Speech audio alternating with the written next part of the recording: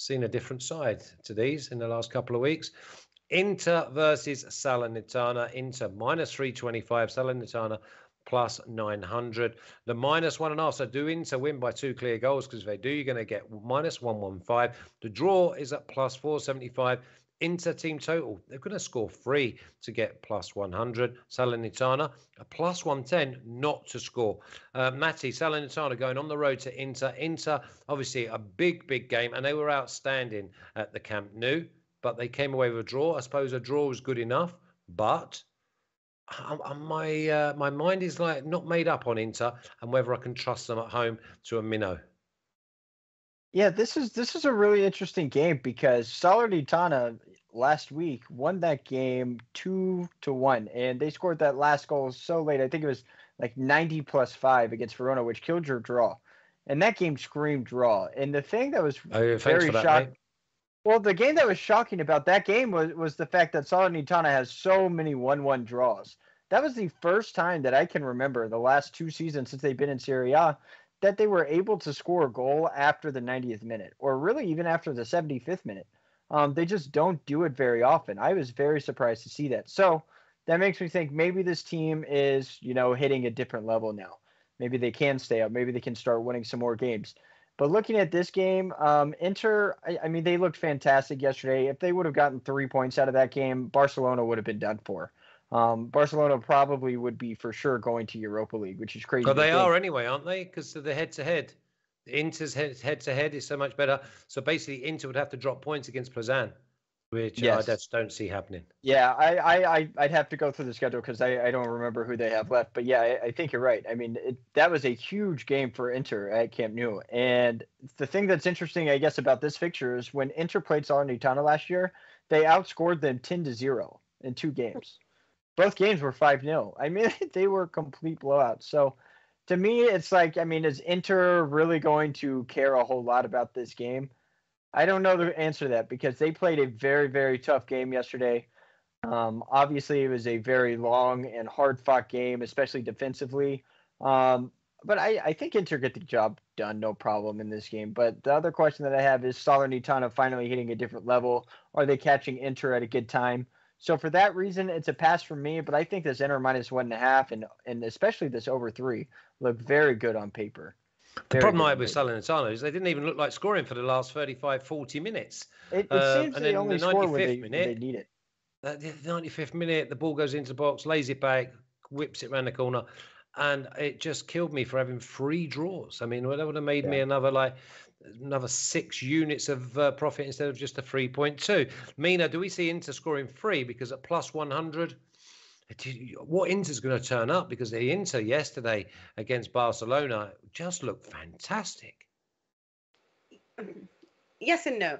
On a tactical level, what I thought was really interesting about this is that Inter really resorted to pragmatism because they're without Brozovic and so they they know that they can't really control their midfield. So they're not going to outplay Barcelona over there. So they went for what suits them, and that is obviously to just you know go really vertical and uh, use their physicality. Now here's the thing: if you if Barcelona just sat a little bit deeper and actually played with a little bit more pragmatism and tried in any way, shape, or form to include a body that would do a little bit more in tactical on a on a sorry on a tackling level, then maybe they might have won this match because on the ball, every Barcelona chance came from Inter giving it up and when playing out from the back. And that's what worries me because they're not that confident on the ball at the moment. They used to be, but not so much anymore. Now Salernitana is going to play deep. They're not going to leave the kind of gaps that that Barcelona did because they're not chasing the goals. So most of Salernitana's goals do come in the first 30 minutes. And most of Inter's goals come in the last 15, which is really interesting to see because it really is both ends. I'd probably go for the draw until the 75th minute if I was going to bet on that, but I don't know whether Inter is exhausted, whether or not Salernitana will raise their game like they do against the champions you saw what they do to like Juventus, for example. You know, they do really like to take on a name. Um, and they are playing at home, and Inter is somebody that they would really relish to play against. And I feel like on a psychological level, Davide Nicola knows how to get them there. When they thrashed them last year, he I, he wasn't yet managing his magic, or I don't even know if he'd been employed yet because it was in March. So they were they were basically beating the poor side of Salernitana, who only really got their points towards the end of the season. For me, I decided to go for corners, and I kind of want to see if you guys agree with me because I went from nine to eleven corners because usually Inter make about six. There's going to be so many fouls in this match, and I know that Salernitana can get four. What do you guys think? I went for Salernitana to have two or three, and Inter maybe going to obviously the last uh, Matty last 20 minutes they got the game uh, sewn up. Uh, they'll try and keep the ball. Yeah, I'm happy with 10 or 11.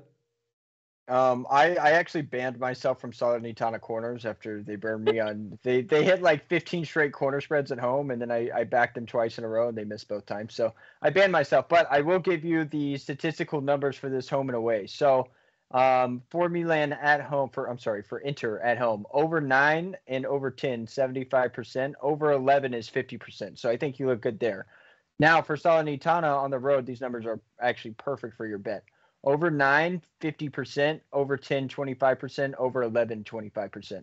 So 9 to 11 is it's the numbers like that for over 55%. So um, with the line that you're getting on this at plus 160, that it's definitely definitely better than what um, the odds or I'm sorry, the odds that I have suggest that your line is is perfect. So I do like 9 to 11. I think it's a good bet. I don't know what they were last season when these guys played each other.